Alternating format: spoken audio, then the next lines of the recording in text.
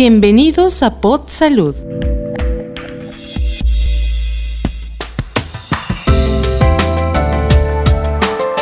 Hoy te informaremos sobre los casos de la COVID-19 en niñas, niños y adolescentes en nuestro país.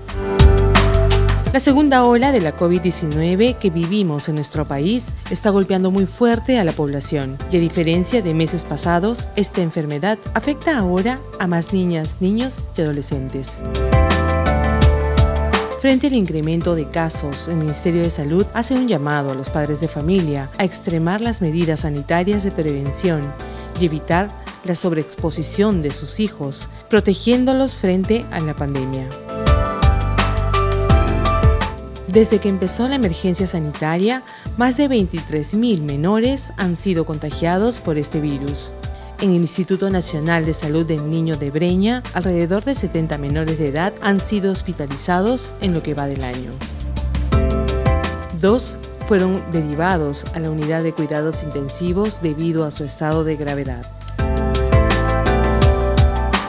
Por ello se aconseja que si hubo un caso de la COVID-19 en casa, y dentro de los primeros 15 días el niño empieza a desarrollar un cuadro de resfrío o dolor abdominal, debe ser trasladado de inmediato al establecimiento de salud para recibir atención médica especializada.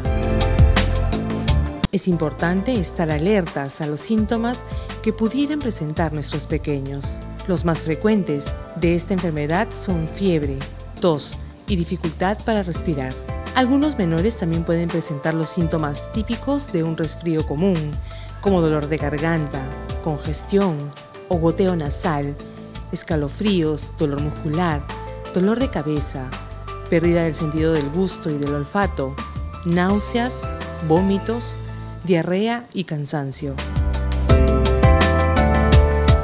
Se debe considerar que algunos niños están presentando cuadros más complicados, como por ejemplo el síndrome inflamatorio multisistémico, cuyos signos de alerta son fiebre, dolor abdominal, vómitos, diarrea, dolor de cuello, erupciones en la piel, ojos rojos, cansancio, labios rojos, secos y agrietados, y manos o pies hinchados.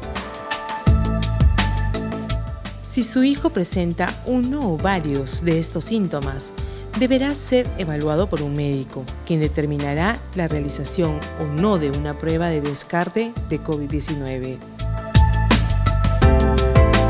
En caso el menor sea positivo a la COVID-19, todos los integrantes de la familia que viven en el mismo espacio deberán ser evaluados para descartar algún contagio y permanecer en casa en aislamiento social.